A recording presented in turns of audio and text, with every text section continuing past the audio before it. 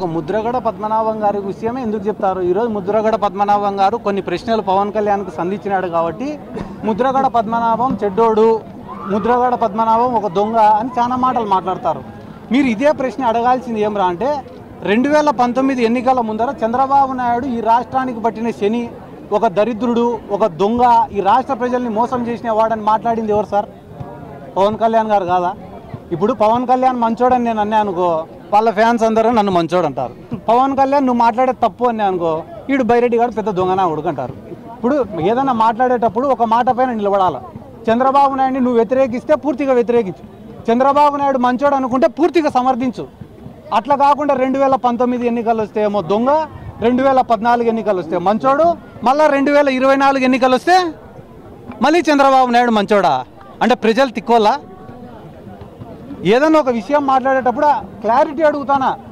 రెండు వేల పద్నాలుగులో ఏ రకంగా మంచిగా కనిపించినాడు? పంతొమ్మిదిలో ఏ రకంగా దొంగ మాదిరి కనిపించినాడు? రెండు వేల ఇరవై నాలుగులో మళ్ళీ ఏ రకంగా నీకు మంచిగా కనిపిస్తున్నాడు?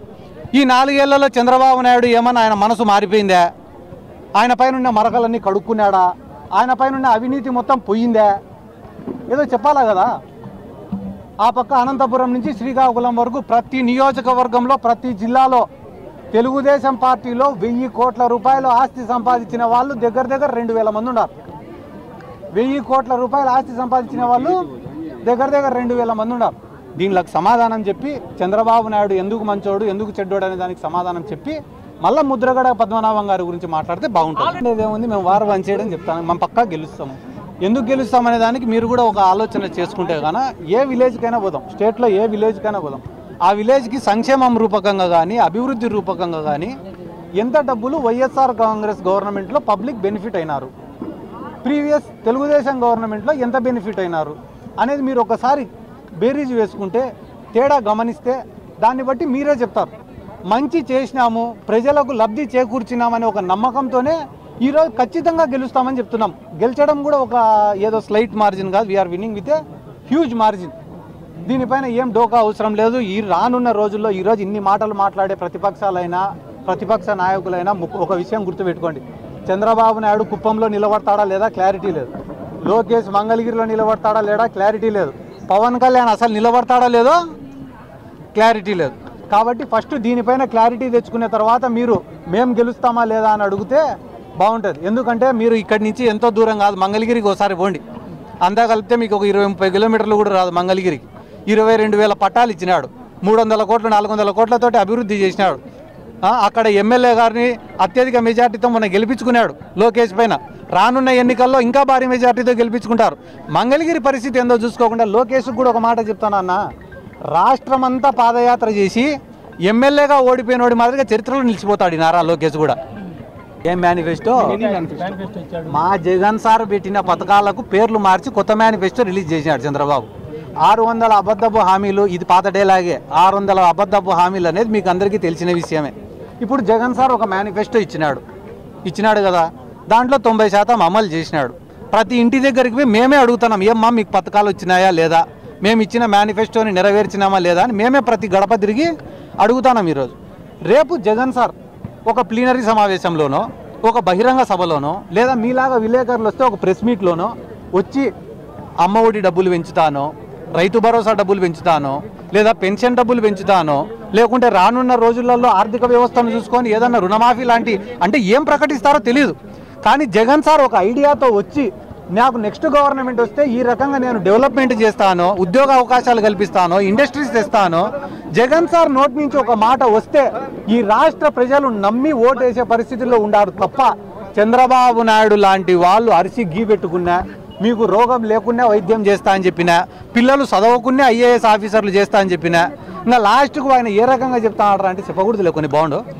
అంటే ఇటువంటి అబద్ధపు హామీలను నమ్మి మోసపోయే పరిస్థితుల్లో మన ఆంధ్ర రాష్ట్ర ప్రజలు లేరు. ఆంధ్ర రాష్ట్ర ప్రజలు కూడా అన్ని గమనిస్తారన్న. చెప్పినారు ఆయన పాకులాట అంతా ఎమ్మెల్యే కాడానికే. వేరేది ఏం లేదు. ఆయన పాకులాడుతాండేది పోరాడుతాండేది అంతా కూడా ఎమ్మెల్యే కావడానికి తప్ప లేదా చంద్రబాబు నాయుడు గారు కూడా ఈరోజు పవన్ కళ్యాణ్ గారితో పొత్తు పెట్టుకోవాలనుకుంటాండేది ఎందుకంటే కనీసం ప్రతిపక్ష హోదా అన్న నిలబడుతుంది. ఒక ఇరవై సీట్లో ముప్పై సీట్లో నిలబడితే కనీసం అసెంబ్లీకి పోవచ్చు ఆస్తులు కాపాడుకోవచ్చు ఏదన్నా ఇబ్బందులు వస్తే ఇట్లా మీడియా ముందుకు వచ్చి అరసచ్చు అని చెప్పి ఒకటే ఉద్దేశంతోనే వాళ్ళు. మీరు ఇందాక కూడా అడిగినారు ఏమని ఈ కాసు బ్రహ్మానందరెడ్డి స్టేడియంకి పరిస్థితి వచ్చింది వర్షం పడితే ఈత కొట్టచ్చు. డెబ్బై కోట్ల రూపాయలు డెబ్బై కోట్ల రూపాయలు టెన్ వీక్ వాళ్ళకి ఇచ్చే బదులు అదే డెబ్బై కోట్ల రూపాయలతో ఈ కాసు బ్రహ్మానందరెడ్డి స్టేడియంని కానీ డెవలప్ చేసింటే రాష్ట్రంలో ఉండే ప్రతి క్రీడాకారుడు ప్రతి అకాడమీ ఇదే కాసు బ్రహ్మానందరెడ్డి స్టేడియంలోనే ఉండేది. అన్న కొన్ని అన్న కాపీ కొట్టకుండా చేస్తే మేము బాయ్ బాయ్ బాబు అని చెప్పి ఎప్పుడో పెట్టినాం. ఆయన వెళ్ళిపోయినాడు. కాబట్టి మా ఎన్ని కాపీ కొడతారు? మేనిఫెస్టో మాదే డైలాగులు మాయే. ఏంది ఇది?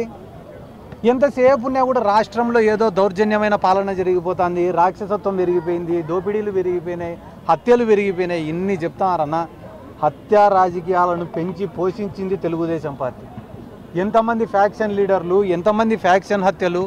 ఈరోజు ఒకటే మాట చెప్తానన్న. పెద్ద పెద్ద లీడర్లకు అందరికీ మా నాయకుడు జగన్మోహన్ రెడ్డి ఎందుకు నచ్చడంలే అంటే ప్రజలు అనేవాళ్ళు ఆ నాయకుల దగ్గరికి పోయి చేతులు కట్టుకొని సార్ మాకు పని చేసి పెట్టండి సార్ అని ఇన్నేళ్ళు అడుక్కుంటా అయినారు.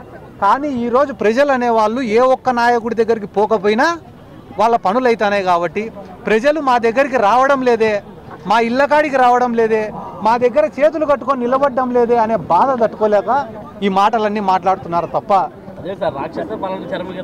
అంటేనే అంత రాక్షస పాలన అనేది జరిగితే గాన వాళ్ళు ఏం పొత్తులు ఎత్తులు కాదు ప్రజలే దానికి సమాధానం చెప్తారు.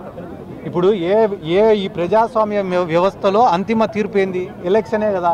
ఆ ఎలక్షన్లో వాళ్ళు ఎంత ఎదురు చూస్తున్నారో లేదో మాకైతే తెలియదు కానీ మేమైతే కానీ we're eagerly waiting for twenty twenty four elections ఈసారి ప్రజలు ఇచ్చే తీర్పు ఏ రకంగా ఉండబోతుందిరా అంటే వీళ్ళందరూ కూడా పొలిటికల్గా రిటైర్మెంట్ తీసుకొని పోయే విధంగా ఉంటుంది